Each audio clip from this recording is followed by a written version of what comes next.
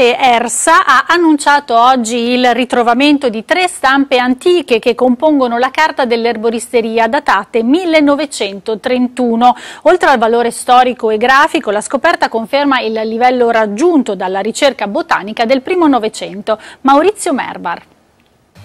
90 piante aromatiche, medicinali e alimentari stampate a colori in cromolitografia su tre tavole da un metro per un metro e mezzo, piante rappresentate nella loro fioritura per agevolare una rapida identificazione, tra di esse anche diverse specie velenose. Il ritrovamento è avvenuto casualmente, la dirigente Paola Coccolo, salita nella soffitta della sede goriziana dell'ERSA, è incappata in alcuni documenti abbandonati fino ad arrivare alle antiche stampe. Lo studio della botanica dell'erboristeria arboristeria nel nostro territorio, in particolare nell'area del Goriziano, nell'entroterra, trova le origini proprio eh, nell'ambito dell'impero austro-ungarico, in quanto Maria Teresa d'Austria aveva proprio imposto ai contadini di coltivare il gelso per lo sviluppo della bachicoltura. Quindi questo ritrovamento è una testimonianza di questa tradizione di erboristeria e di botanica. Sulla parte sinistra della cornice di una delle tavole appare lo scudo sabaudo, sulla destra invece il fascio littorio con la data, anno nono dell'era fascista, era il 1931. Sulle altre due stampe invece questi simboli sono stati poi coperti dall'Aquila del Friuli. La tipografia è di Francesco Pellarini di San Daniele.